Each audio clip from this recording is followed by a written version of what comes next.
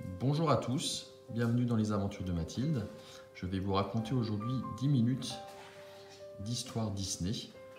Donc euh, Disney Princesse, 5 minutes pour s'endormir, 12 histoires avec les princesses et leurs amis.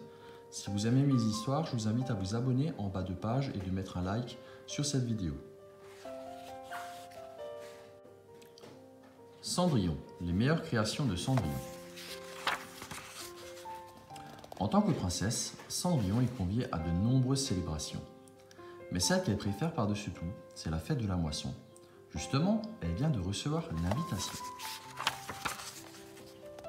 Cette année, la jeune fille a envie de faire quelque chose de spécial pour l'occasion.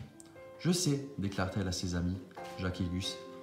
Il y a quatre petites filles au village, je vais leur fabriquer de nouvelles robes. Aussitôt dit, aussitôt fait.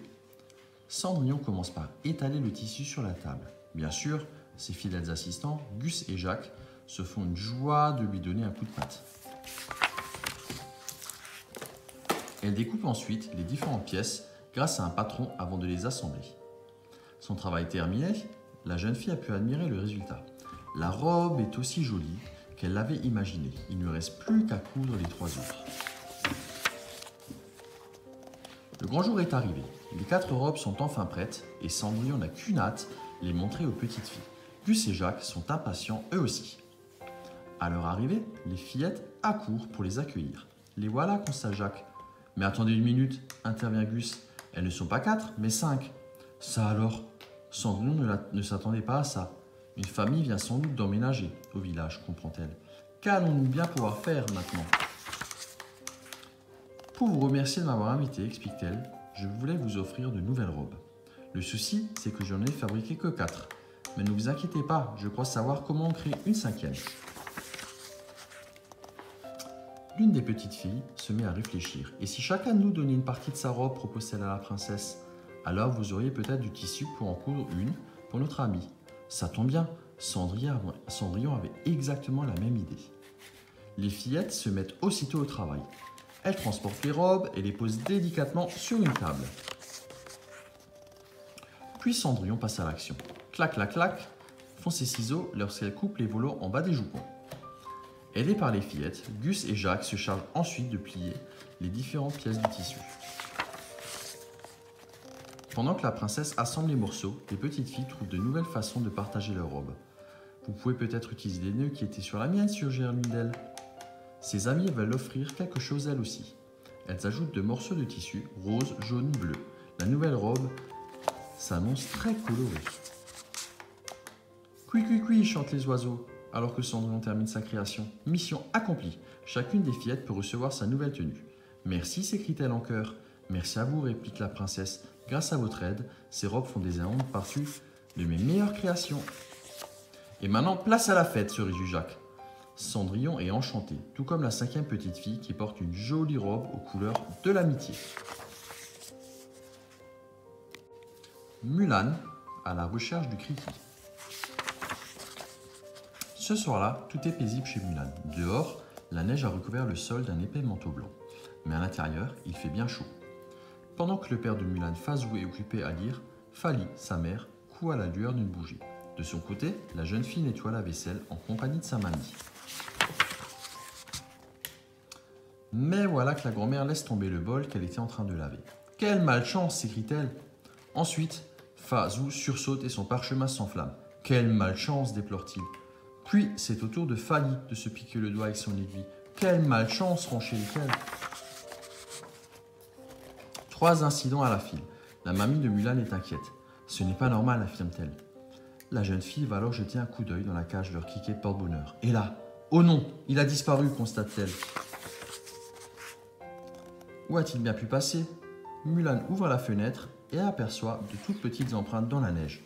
Je dois aller le chercher, déclare-t-elle. Riki ne pourra jamais survivre par ce froid. Sur ces mots, elle s'emmitoufle dans une cape bien chaude et file vers le temple des ancêtres. Là, elle retrouve Mouchou.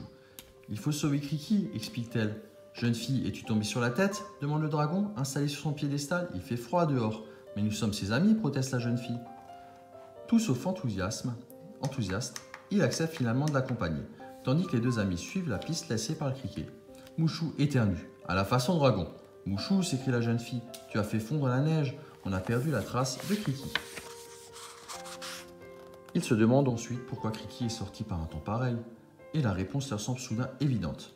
Leur ami voulait sûrement aider quelqu'un. Alors qu'ils continuent de marcher, des nuages viennent cacher le clair de lune. Oh, quelle malchance, se plaint Mulan. On n'y voit plus rien. Heureusement, Mouchou a une idée. Il lance des flammes en l'air afin d'éclairer leur chemin. On a de la chance, se réjouit la jeune fille. Je vois des empreintes de Kriki. Mais au bout d'un moment, c'est comme si la piste disparaissait brusquement. Leur ami a dû sauter en levant les yeux. Mulan aperçoit des traces. Celle-ci mène vers une grotte cachée derrière un mur de neige. Et quelqu'un appelle au secours à l'intérieur. Vite, les deux sauveteurs se dépêchent de creuser un trou. De l'autre côté, ils découvrent Kriki et Lei Lei, une fillette du village, toute tremblante de froid. Qu'est-ce que tu fais là? lui demande Mulan. Je ramassais du bois, explique Lei Lei, quand un gros tas de neige est tombé et a bloqué la porte d'entrée de la porte, de la grotte. Avant de reprendre le chemin du village, Mouchou se charge d'allumer un bon feu pour la réchauffer. Le dragon sait pourquoi ils sont tous sains et saufs. Facile, Criquet est le meilleur de tous. Les criquets portent bonheur, déclare-t-il. La petite sirène, Ariel et le fantôme. Cette nuit-là, Ariel est en train de dormir lorsqu'elle entend quelqu'un tousser.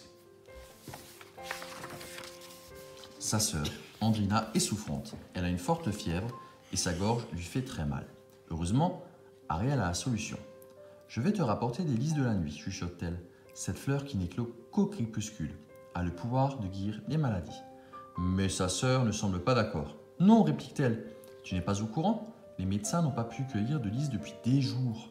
Il paraît que les fleurs sont gardées par un fantôme. Pas de quoi effrayer la petite sirène. Ariel est prête à tout pour soigner sa sœur. Et elle sait qui peut l'aider dans cette mission, son grand ami Polochon. Ensemble, ils partent chercher les lys de la nuit. Une fois arrivés aux frontières du royaume, ils aperçoivent des gardes. Qu'est-ce qu'ils regardent? demande Polochon. Chut dit murmure Ariel. Ils ne doivent pas nous entendre. Au loin, des lueurs bleues brillent dans l'obscurité. Les voilà lance l'un des gardes. Les lumières hantées Allons les examiner de plus près. Non refuse un autre. Il ne faut pas s'en approcher. Ces lumières te pousseront à les suivre et tu seras perdu à tout jamais. Terrifié, Polochon n'a qu'une envie, rentrer à la maison. Mais Ariel l'attrape par la nageoire et ils franchissent la frontière ni vu ni connu. Tandis qu'ils s'approchent peu à peu des lumières, celle-ci flotte et danse au gré des flots. Dis, tu crois que c'est une... une pieuvre? Redit Polochon. Et là, surprise, il ne s'agit pas d'une grosse créature, mais d'un banc de poissons. Chacun d'eux est recouvert de petits points lumineux et nage au-dessus des lys de la nuit. L'un des poissons aperçoit Ariel et son ami. Aidez-nous, s'il vous plaît, les supplie-t-il. Allez-vous nous obliger à vous suivre? interroge Polochon d'une voix tremblante. Bien sûr que nous. Pour, que nous soyons perdus à jamais? Bien sûr que non, répond le poisson. C'est nous qui sommes perdus. Il se met à raconter ce qui s'est passé. Lorsque nous voulons rejoindre le rivage, explique-t-il, nous revenons toujours près de ces fleurs.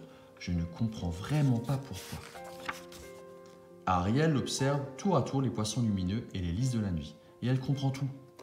Je sais comment arranger ça, affirme-t-elle. Venez avec moi. Et elle les mène jusqu'à la surface. De loin, les lys vous ressemblent, observe la petite sirène. Voilà pourquoi vous nagez vers eux. Vous croyez qu'ils font partie de votre famille? Elle pointe un doigt vers le ciel. Suivez juste cette étoile à la place et vous gagnerez le rivage, enseigne-t-elle. Heureux, les poissons exécutent une petite nage de la joie. Ils vont enfin pouvoir trouver leur chemin et Ariel n'a plus qu'à cueillir des fleurs pour sa sœur. Le lendemain, grâce au lys de la nuit, Andrina est complètement guérie. Elle n'arrête pas de parler et de répéter à qui veut l'entendre que sa petite sœur est plus courageuse de l'océan.